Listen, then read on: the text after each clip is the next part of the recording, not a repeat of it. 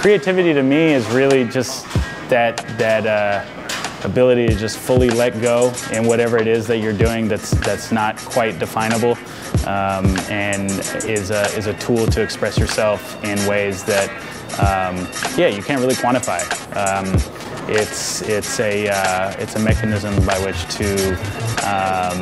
you know really just yeah express yourself in, in, a, in a way that you can't do with, with typical language or writing or, or, or whatever.